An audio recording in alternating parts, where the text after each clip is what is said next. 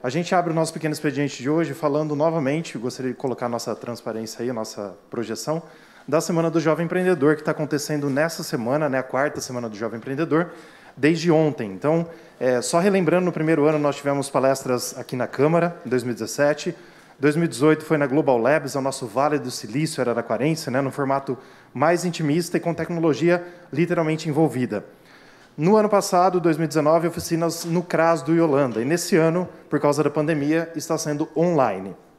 Então, ontem, segunda-feira, através do Zoom e através do Instagram, nós falamos sobre as principais dificuldades e soluções das empresas em tempos de pandemia e como uma empresa no setor de cultura aumentou seu faturamento mesmo em meio ao que estamos passando.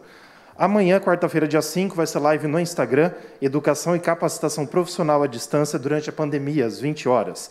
Na quinta-feira, também live no Instagram, na parte da tarde, profissão influencer e produtor de conteúdo, solução durante a pandemia e papel fundamental de influenciar para o bem. Na sexta-feira, sala no Zoom, às 20 horas, cases de sucesso de empreendedorismo durante a pandemia com o grupo Mulheres Empreendedoras de Araraquara. Todas as informações você pode conferir em rafaeldeangeli.com. Gostaria de passar para a próxima transparência. Senhor presidente, sem querer, nós deixamos os três da bancada do PSDB em seguida aqui para falar hoje, mas o Lucas faz o sorteio. Então, coincidentemente, nós falamos em seguida sobre o mesmo assunto. Né? É, Sugiro a... até que vocês façam uma fezinha depois aí, né? Com certeza. É, a Ponte dos Machados, senhor presidente, nobres vereadores e quem nos acompanha, o governo do estado, a pedido da nossa bancada também, né, o prefeito também esteve em fevereiro lá pedindo, mas nós reforçamos com o secretário de Desenvolvimento do Interior, né, o Marco Vignoli, e com o governador João Dória, quando o Marco Vignoli esteve aqui em março, sobre a Ponte dos Machados. E ele é, realmente agora mandou esse valor grande de 2 milhões, pode dar, uh, passar um, por favor? R$ 2.358.144,71 para arrumar a ponte, né, para que nós não percamos o que sobrou dela, vamos dizer assim. Então, pode passar as fotos, por favor? Aí a matéria do RCI, né, que o governo Dória liberou esse valor, pode passar as fotos, por favor, para as pessoas é, verem o estado que está né, e o grau de, é, de dificuldade que tem disso desabar a qualquer momento. Então, pode passar, por favor, a próxima também. Falando então sobre queimadas em Araraquara, muita gente tem nos informado, entrado em contato conosco, falando muito sobre as queimadas e parece que tudo fica na mão dos vereadores, mas não é. A população também precisa ajudar. Né? A gente vê que, infelizmente, tem gente que coloca fogo para brincar. E isso não é brincadeira. Fogo é crime, como está nessa, é, nessa foto aí que a prefeitura está divulgando como campanha. Então, se você visualizar algum fogo errado, né, de uma forma errada, porque nenhum é certo, vamos dizer assim, mas é, denuncie porque é crime. 0800 770 1595. Por favor, pode passar a próxima.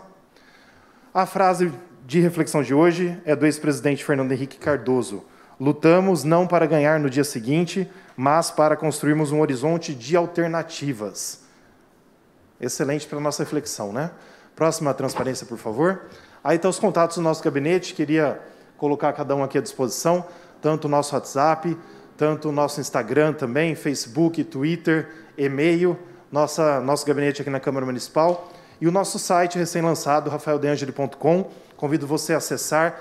A gente já tinha uma página que ficou durante 2017, 18 e 19 com uma página só é, falando sobre os nossos contatos, basicamente. Mas agora colocamos o site literalmente no ar. Faltam algumas páginas, alguns ajustes, mas esse site, principalmente, é uma forma de prestação de contas. Nesse site você encontra tudo o que nós fizemos em forma de notícias, em forma de vídeo, em forma de tudo que for feito nesse mandato, inclusive com números, números de requerimentos, números de indicações, números de projeto de lei, e você tem acesso a cada um deles. Então te convido a acessar rafaeldeangeli.com, que nos próximos dias nós vamos incrementar algumas páginas que ainda estão em construção e mais coisas, mas já dá para ver o site de uma forma bem dinâmica e bem é, grande, vamos assim dizer, e o que você pode conferir lá toda a nossa prestação de contas. E nessa semana entra no ar também um vídeo de prestação de contas que vai ter cerca de sete minutos, resumindo tudo que nós fizemos nesses três anos e meio de mandato até agora.